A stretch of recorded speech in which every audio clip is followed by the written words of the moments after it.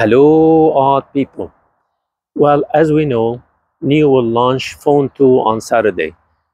And um, uh, it is really important to understand the story with the phone. I mean, uh, Phone 1, we had enough expense with that. Now we have Phone 2. The idea of having Phone 2 will tell you that uh, we should expect Phone 3 next year, right? And NIO actually plans to make a new edition every year. So NIO decided to make the phone as uh, an essential part of NIO's ecosystem.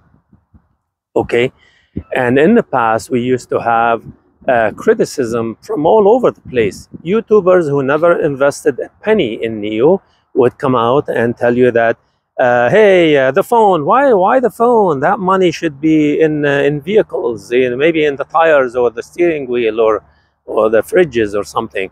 Uh, you know, it doesn't make any sense. You know, focus on the vehicle, not not the phone.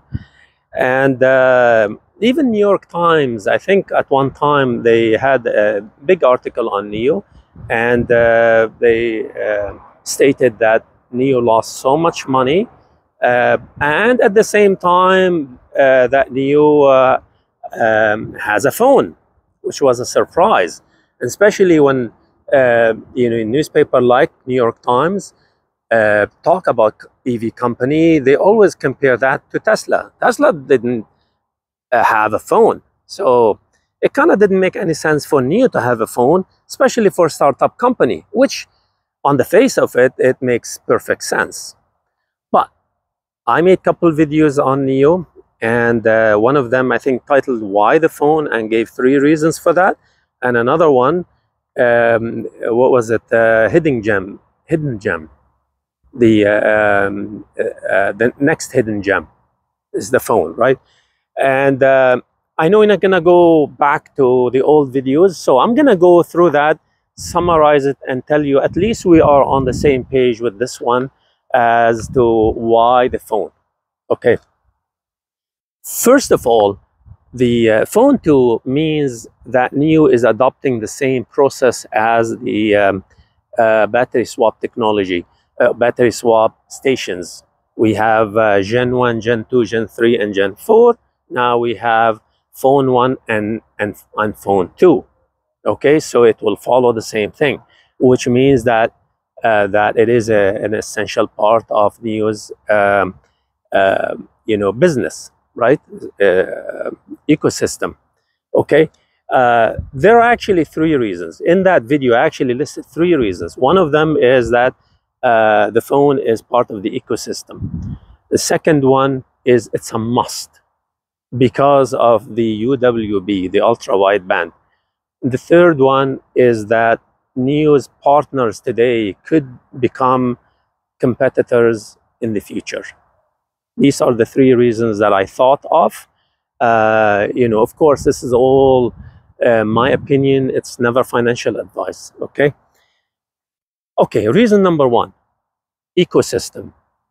Is it essential for a startup company to build such massive ecosystem, given the fact that NIO, uh, you know, uh, has battery swap and even e-commerce, even e-commerce? Well, uh, the thing is that uh, NIO is actually building that. NIO builds this uh, uh lifestyle uh, that is unique. And uh, part of this lifestyle is the e-commerce. And, and the other one is, of course, it's, a, it's a premium lifestyle that, that there is a market for it in China. That's what they're trying to, to do. so uh, the, the question is, does the phone fit in the ecosystem? Well, of course it does. And, uh, and a simple way to understand that easy way is to ask ourselves the question, why Apple worked on the Titan project, which was supposed to be building its own EV brand. Why? Apple worked on the iCar, right? They worked on the project for over 10 years. They just canceled the project recently, just a few months ago, right? Why is that? That's because the EV uh, uh, product is actually a tech product. Apple is not interested in the uh, the the legacy automobile. Uh, Apple never uh, showed interest in in in uh, in the legacy or gasoline vehicles. Apple only showed interest when Tesla uh, became successful in in in launching uh, EVs that appear to be more and more a tech company, and so that's why Apple got involved in that, right?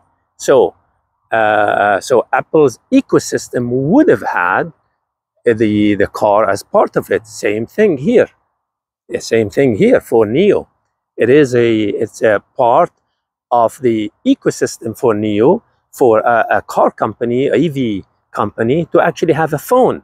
See, once once you go one way, you know you could you know a, a phone company having a car as part of the ecosystem is no different than a an EV company having the phone as part of the ecosystem, right? The end of the day, you have these two products, the phone and the car, in the hands of the uh, customers. That's what that's that, that's what it is. So, uh, of course, and it makes sense. It makes sense, and probably it makes sense when you talk about ecosystem. You need time to really um, uh, see that uh, uh, materialized, right? Ecosystem, it's a big word, it takes time. Second one is it's a must. It's a must because of the UWB, the ultra wide band.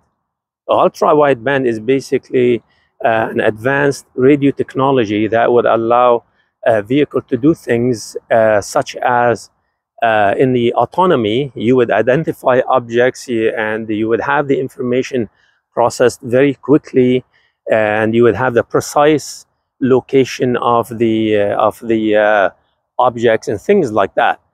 That uh, um, uh, was necessary for NIO because when NIO upgrade upgraded its the um, uh, platform from NT1 to NT2, NT2 uses uh, the um, the ultra wideband technology. It, the ultra wideband technology becomes an, uh, a necessity.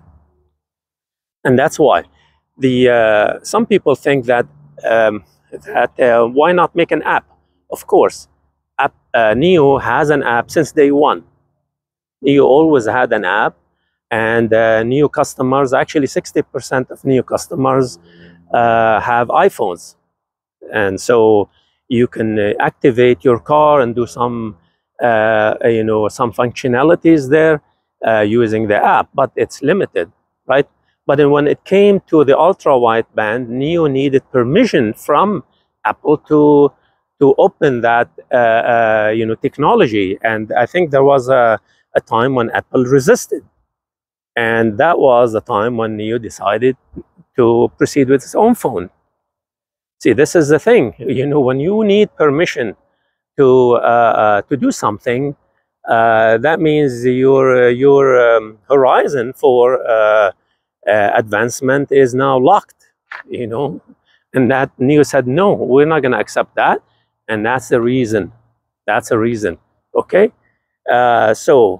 uh, that's reason number two.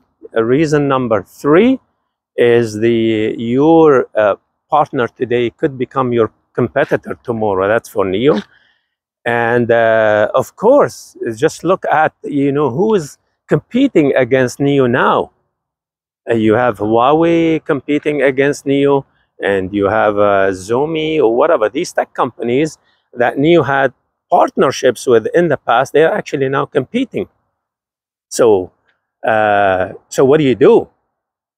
You have to you they come and uh, and uh, they are taking your product and they adding your product to to their ecosystem. You got to do the same thing.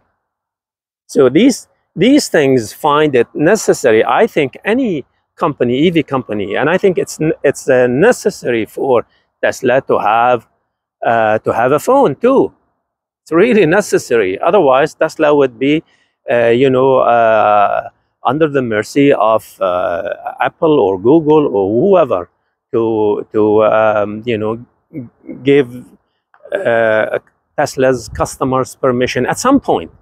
At some point, so eh, I think it's necessary, and uh, and these are the reasons what I, that I thought of.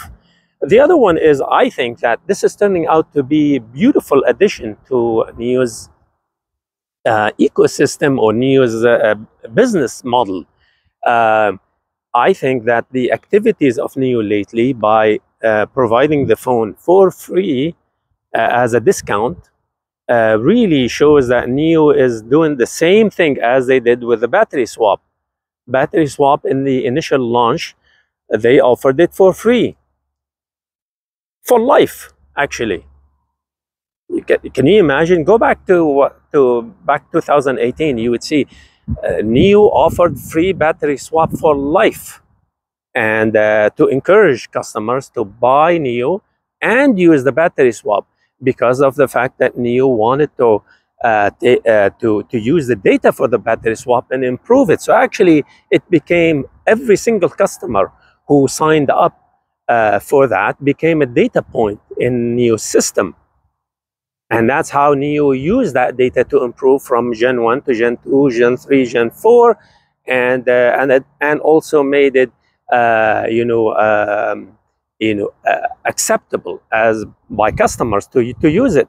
When you see customers uh, use battery swap, you would, you would be encouraged. So anyways, and, and, and we can see the data today.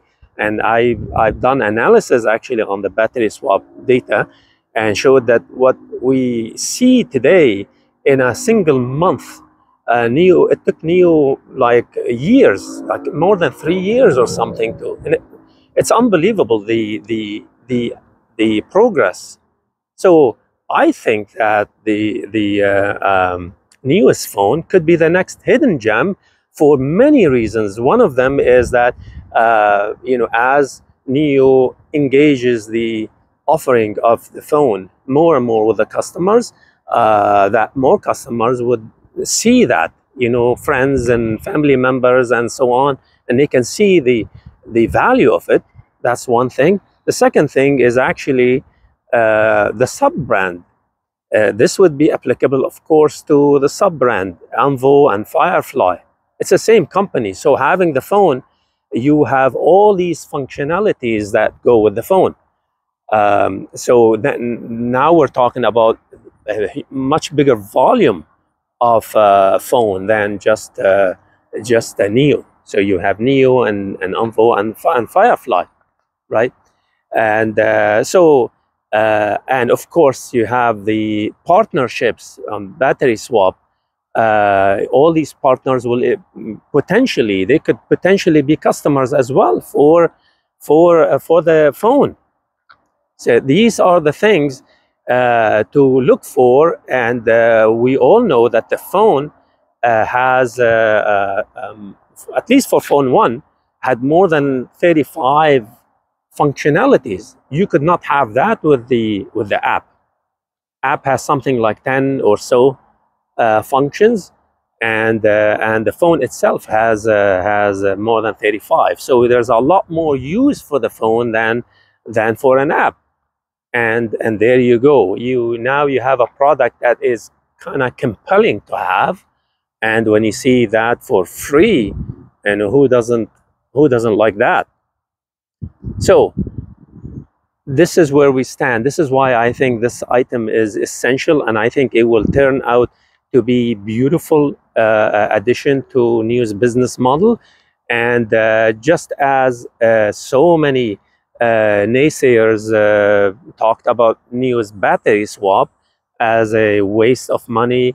They also talked about uh, the about the the phone as a waste of money, but it is not. It is not, and uh, and perhaps the um, the brand is picking up, or NIO is actually picking up deliveries. Deliveries. Part of it is because of uh, the fact that NIO's brand is becoming more and more known through battery swap, through seeing NIO's logos all over, something like that, right? So, anyways, that's what I think of the phone. Let me know if you think otherwise, and uh, never financial advice. Thank you. Bye bye.